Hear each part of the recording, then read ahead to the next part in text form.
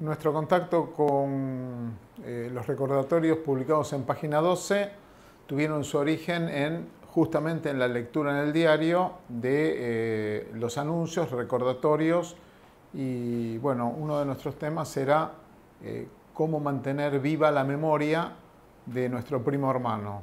Entonces este, lo que hicimos fue este, contactarnos con el diario para pedirles este, las publicaciones de todos los años, este, los 16 de, marzo, de mayo, para, eh, con la idea de, primero, mantener la memoria de Oscar y segundo, buscar los contactos que pudieran darnos alguna idea de qué había sido de eh, Oscar, ya que nunca tuvimos este, contactos hasta hace muy poco tiempo y la idea nuestra era poner el correo electrónico, que abrimos un correo para que la gente que lo conoció a Oscar o tuviera algún contacto con Oscar este, nos diera alguna información al respecto. Eh, nuestra tía Teresa, la mamá de Oscar, eh, madre de Plaza de Mayo, este, desde los primeros momentos eh, que asistía regularmente todos los jueves a las marchas, y que también tenía la desesperación, primero de encontrarlo vivo y después de encontrar eh, algún elemento que nos pudiera dar una idea de qué había sido de la vida de Oscar, dónde, dónde estuvo, dónde estaba, si podíamos encontrar sus restos, porque ya transcurrido la cantidad de años este, suficientes, ya empezamos a este, tomar conciencia que eh, con vida se lo llevaron, pero con vida no lo íbamos a encontrar. Sino, eh, yo vivía, viví 30 años afuera, o sea que yo no tenía contacto directo con lo cotidiano, ¿sí? con la situación hasta el término de la dictadura y después, bueno, los años de la recuperación de la democracia no tenía idea de lo que estaba, qué, se gestaba, cómo funcionaba, qué estaba pasando con el tema de derechos humanos, cómo, fueron, cómo se fue organizando todos los movimientos de derechos humanos y eh, los detalles cotidianos que hacían al trabajo este que, eh, por ejemplo, me enteré en algún viaje del el primer recordatorio que tuve contacto que Jorge había publicado sobre eh, el recuerdo de los, de ir puntualmente, los 16 de mayo, el 16 de mayo es el cumpleaños, ¿no? 11 de marzo. 11 de marzo. Eh, sobre la, fecha de desaparición de Oscar. Lo mismo que con las baldosas, que yo no conocía y que caminando a Buenos Aires entre viaje y viaje, empecé a ver las baldosas, aquí vivió, aquí fue secuestrado, aquí trabajó, aquí estudió, y dije, caray, acá hay gente que trabaja Acá hay gente que construye la memoria día a día, que la mantiene y que está haciendo un trabajo maravilloso. Bueno, después yo regresé hace una década, un poco más, este, a vivir acá y bueno, ya me contacté directamente por otras cuestiones con el tema de derechos humanos. La idea de eh, publicar este, anuncios pidiendo información sobre el paradero de Oscar y de eh, recordarlo a través de eh, las publicaciones, surgió este, hace muchos años, ya no recuerdo cuándo, eh, yo soy editor de libros y teníamos un colega que tenía una empresa de publicidad. Entonces yo recurrí a él para consultarle cómo podíamos hacer para publicar algún tipo de anuncio pidiendo información sobre nuestro primo. Y bueno, él en sus comienzos este, nos consiguió en Clarín poner un recordatorio con todos los descuentos y los costos originarios que tenía él como empresa de, de publicidad y pusimos un pequeño avisito en Clarín y él este, nos contactó con Página 12, que lo puso en forma gratuita y bastante más grande.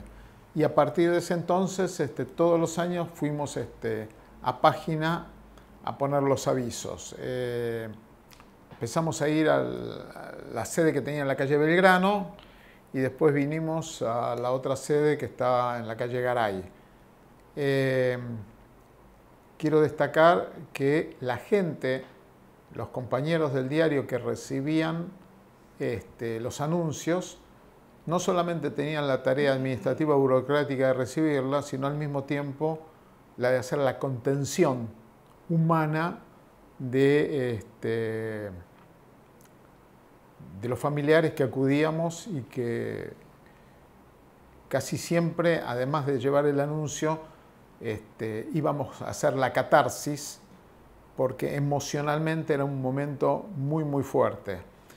Eh, en uno de esos, este, las primeras recepciones las tuvimos en la calle de Belgrano, donde estaba eh, la nieta, que después falleció muy joven, creo que a los 30 años, de un cáncer, era la nieta de, de Rodolfo Walsh, la hija de, eh, no de Vicky Walsh, sino de la hermana, eh, Patricia Walsh. Y los encuentros con ella recuerdo que eran muy, muy fuertes, porque no solamente estaba la emoción nuestra, sino que eh, a su vez nosotros recibíamos la emoción de, de la nieta de Walsh, que se llamaba María Eva Fuentes. María Eva, María Eva. Eh,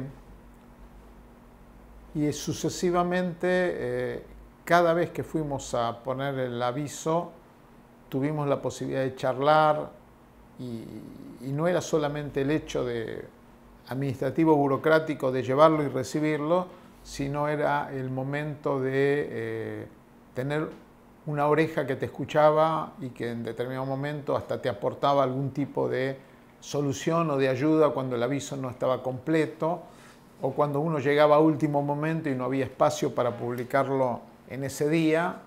Eh, fue una relación, este, es una relación y espero que siga siendo lo suficientemente eh, fuerte como para seguir conteniéndonos como familiares.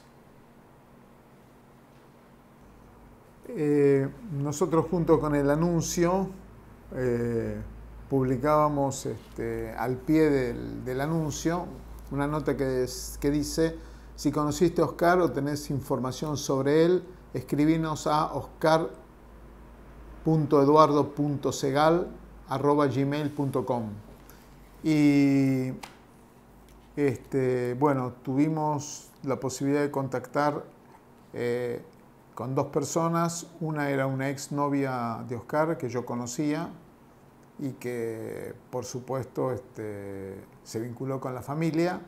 Y eh, unos compañeros, una pareja que vive en Bariloche y que eh, todos los años este, hacían la ronda, creo que era de la Marcha de la Resistencia, con un cartel con el nombre de Oscar. Este, y bueno, además, este, según nos relataron, está pintado el nombre de Oscar en uno de los pañuelos este, en la plaza del Centro Cívico de Bariloche. Esos fueron los dos contactos que tuvimos a partir de eh, los recordatorios que poníamos en página 12 y que todos los años nos sigue renovando la esperanza de siempre tener alguna noticia más sobre Oscar. Eh, yo no sé si lo pusimos nosotros o lo puso. No, no, no, no. Eso lo pusiste vos, estaba en el anuncio. Yo te recuerdo vagamente que el anuncio decía algo de se anunciaba que tal día se iba a realizar la colocación de la baldosa en la casa donde fue secuestrado, donde vivía, y, pero eso es un tema que no, o sea, lo pusiste vos, no hay nadie más. Los otros fueron hechos por otra vía. Perdón, los otros anuncios de, con respecto a eh, Barrios por Memoria, lo, publicó, se publicó en distintos lugares, en distintos sitios, pero... Eh, no lo recuerdo exactamente, pero seguramente, como dice Carlos, en el recordatorio anual este, incorporamos este, el texto de eh, la colocación de la baldosa en la casa donde vivía Oscar en el barrio de Flores Y sí tuvo repercusión porque este, vino, vinieron varias personas que lo conocieron a Oscar y que vinieron a través del anuncio de página. Y ahí nos eh, encontramos físicamente con la ex novia de Oscar, que también se había contactado por medio de, de los anuncios, y también otros compañeros de él del hospital que vinieron este, porque vieron el nombre de Oscar. Era una persona muy, muy querida, un militante de ley, este, un tipo que se brindaba de, corazón y de alguna forma este, se vio reflejado en la colocación de esa baldosa donde nos pudimos encontrar con mucha gente que no conocíamos, pero que ellos sí lo conocían Oscar.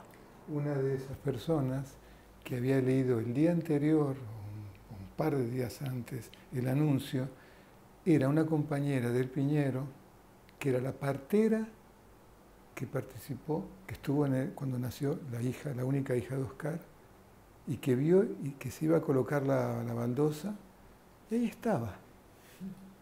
Imagínate, viste, mocos, llantos. Se, encontró con la hija de Oscar y, la hija, y el hijo de la hija de Oscar. O sea, todo eso a partir de el anuncio. Un tema de comunicación.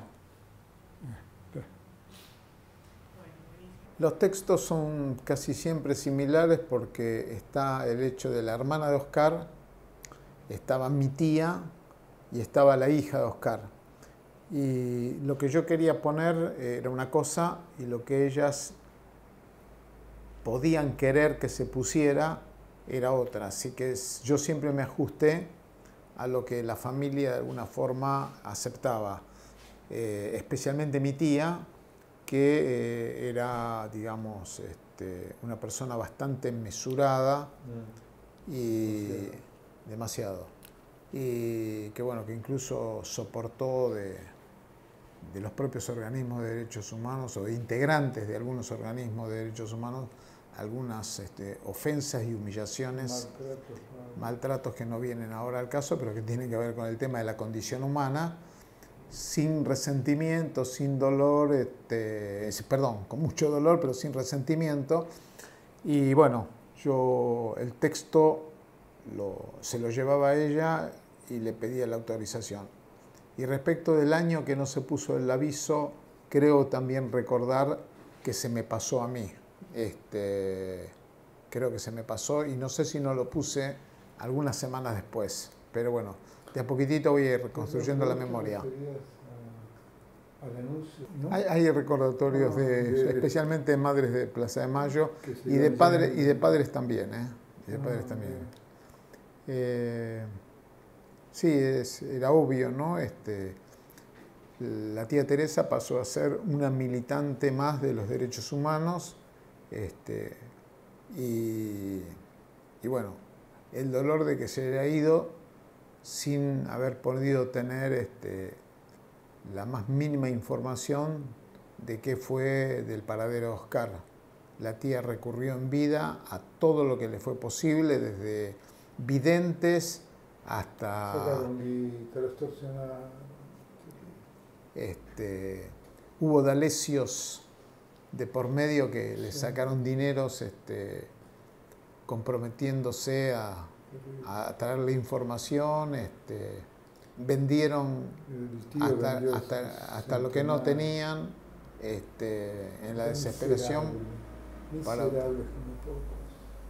este, vendieron, vendieron un departamento para poder este, darle el dinero a esa persona que, que le iba a dar este, alguna información, este, miserias humanas, ¿no? Este, pero bueno... Eh, Perdón, una cosa, un detalle.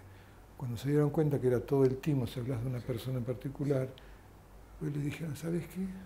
Acordate que tienes otra hija. O sea, la amenaza, o sea, no me jodas más. Y ahí tuvieron que cortarla. Pero bueno, de eso debe haber pasado. Y no hablamos gente que estaba conectada directamente con los represores, con las patotas que se dedican a extorsionar de distintas maneras, sino no, gente que aprovechó la volteada. Y yo, "Ah, sí, sí". No, pero algún, algún contacto. Bueno, algunos, pero muy de periferia. Sí, sí, bueno, de hecho, Este, la, la Bueno, idea, la, idea, entonces- la idea era este, bueno, homenajear este, no solamente a, a un militante de la década de los 70, sino homenajear a, a los militantes de derechos humanos que eh, buscaron este, la verdad, la justicia y que mantener viva la memoria de, todos ellos. Y la tía Teresa era una de esas este, mujeres que no faltó a las marchas, llueva, truene, porque, bueno, reivindicaba a su hijo total e íntegramente, incluso en su militancia que ella no compartía, pero que terminó entendiéndola y comprendiéndola. La idea es este, mantener viva la memoria, eh, no solamente para los demás, sino también para uno mismo. Y los 16 de mayo es un día muy especial, a pesar de que lo recordamos casi cotidianamente, el 16 de mayo es un hito y eh, tener la posibilidad eh, de poder publicar este, el recordatorio es una se, constituye en un acto este, muy importante para nosotros. Eh, lo, lo significativo no es solamente publicar el aviso, el anuncio, el recordatorio, sino a su vez eh, tomar el diario y hojearlo y ahora hasta aparece por, por internet eh, los recordatorios del resto de los este, 30.000 compañeros detenidos desaparecidos que de alguna forma eh, nos hace sentir que nos siguen acompañando.